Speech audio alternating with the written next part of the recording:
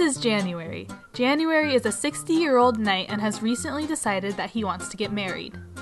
This is because he believes that a man without a wife is destined to be helpless and lost.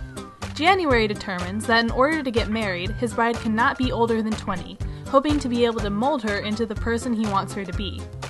The old knight goes to his friends Placebo and Justinus for advice. Placebo says that January is making the right decision, and Justinus suggests being cautious and thorough when choosing a wife. January then began considering whom he was going to marry of the young women in the town. He came to a decision and immediately sent for his friends. They decide it is fit that this young maiden, May, would be married to January as soon as possible. Then came the wedding day, and they were married in a full ceremony. January was amazed and put into a trance every time he laid his eyes upon May, and everyone is happy, except for a squire named Damien.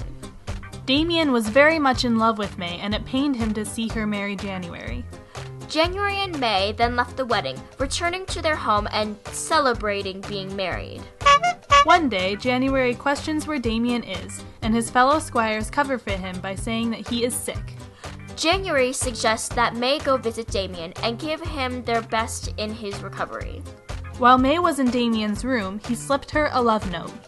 May felt pity for Damien and wanted to put him at ease, so she wrote her own letter and put it under his pillow to find. January also had a garden that was very important to him and which only he had a key to. One day, January suddenly goes blind and becomes very jealous and protective of his wife, not letting her go anywhere without him. May was distraught because of the love she felt for Damien and her inability to see him. Damien had also become very sorrowful for not being able to speak to May, so they began to form secret signals to communicate without January's knowledge. May then makes a mold of the key to January's garden, and Damien makes a copy of the key. After this, January decides he wants to take May into the garden for a stroll. May signals that Damien should go in ahead of them with the key, and he hid it in a bush. When May sees Damien, she signals him to climb into a pear tree.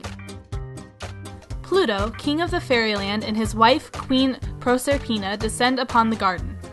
Pluto says that he wishes to restore January's vision so he can see what May is doing to him. January and May are happily strolling through the garden when May says she would really like a pear. January gets down on all fours so May can reach the pear tree, and she climbs up, commencing to do stuff with Damien.